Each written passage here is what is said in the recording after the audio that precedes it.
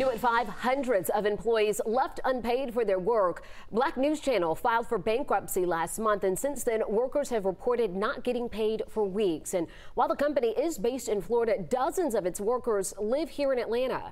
Our Joe Ripley looking into the claims and learning why the company doesn't have to pay the employees, at least not right away, Joe. Yeah, that's right, Jennifer. Right now, the fate of Black News Channel lies in bankruptcy court. Because the company filed bankruptcy, Chapter 11, the court now has authority over all its assets. BNC says it still intends to pay its employees, but the timing is unclear right now, and employees are suffering for it.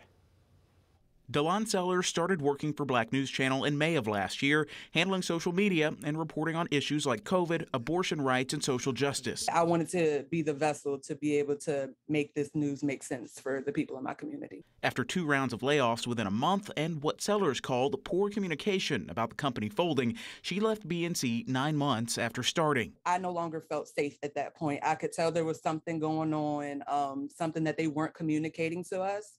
So I felt like it was time for me to try to kind of protect myself and get out while I could. Last month, BNC sent a letter to employees announcing it would file for Chapter 11 bankruptcy and cease operations. So when you file, there's an automatic stay. Everything stops. It's a freeze frame. From that point forward, the court has jurisdiction over the debtor, and the debtor can't do things without court That includes paying employees for any outstanding time worked until legal matters are settled, says Gary Freed, an employment attorney.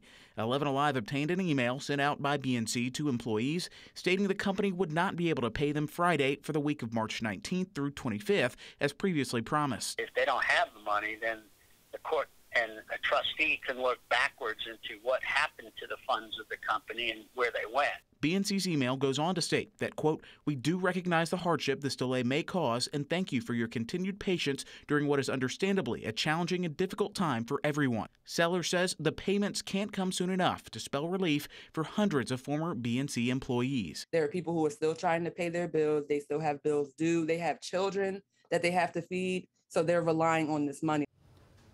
BNC says it is now working to get restructured, possibly become a viable business once more should the right investor come along. But Freed says about 80% of companies that file for bankruptcy eventually fail. Now, coming up at 6, his advice for anyone whose company files for bankruptcy and delays their payment. Jeff. Joe, you really got a feel for all of those employees who are waiting for the money that they deserve from doing the services that were rendered.